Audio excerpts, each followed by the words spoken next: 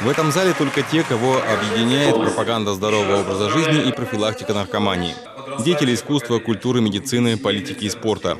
На седьмой церемонии вручения премии «Золотой орел» чествуют 13 номинантов. Это награда Общественного совета Управления наркоконтроля России по Челябинской области. В числе обладателей статуэтки – заведующая областной юношеской библиотеки Зинаида Сергеева. Ее девиз – «Книга альтернатива наркотикам». Хотя, казалось бы, как в век засилия интернета можно заставить современного подростка усидеть за читальным столом? Оказалось вполне реально.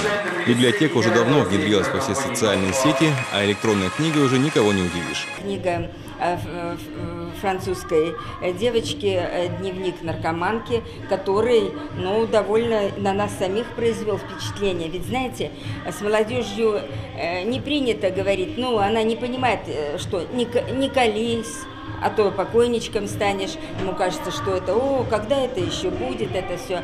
А когда он слышит от своего сверстника или читает откровения, дневники своей сверстницы или своего сверстника, это совсем по-другому. В Челябинской области около 38 тысяч наркозависимых. Социальный портрет не меняется годами. Это молодые люди в возрасте от 14 до 35 лет. Многие из обеспеченных семей. Каждый из них за свою недолгую жизнь может вовлечь в свои ряды до 20 человек. И это только официальная статистика.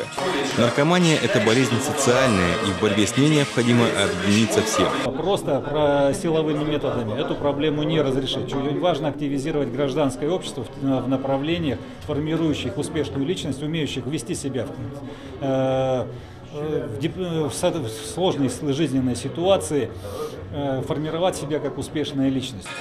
Номинанты «Золотого орла» предлагают все новые и новые способы, как уберечь подростков от пристрастия к наркотикам. Мы сейчас акцент делаем не на медиков, э, не на врачей, не на их чтение лекций, а вот именно на работу э, школьных психологов, чтобы они работали с детьми в плане личностного роста ребенка. Вот я считаю, это наше основное достижение. Кроме «Золотых орлов» на церемонии были вручены почетные грамоты Общественной палаты и благодарственные письма от Законодательного собрания.